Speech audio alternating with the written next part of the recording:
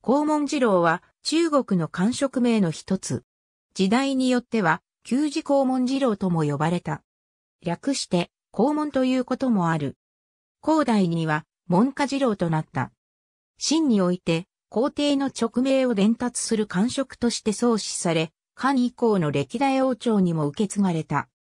深夜漢では、金中の門が黄色に塗られていて、黄門と呼ばれていたため、皇帝に禁じする、この官職は、黄門次郎と称されるようになった。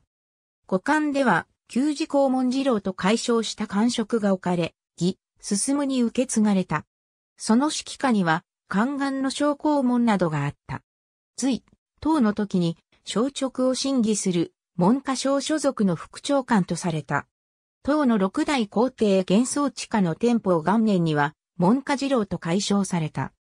北宋の六代皇帝新宗は、唐末から形骸化していた官制を改革する、元法の改革を、元法3年から断行し、少書左牧屋に、文科次郎を兼任させて、最小の職務を遂行させた。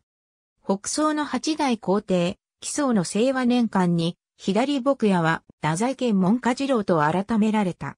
成功年間に、少書左牧屋県文科次郎に戻された。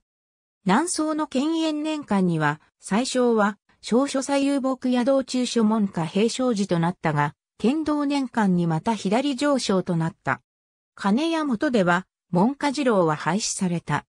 日本の官職を豆苗で呼ぶようになった時、中納言は中国のこの官職に相当するとみなされて、黄門次郎、後には略して黄門と呼ばれるようになった。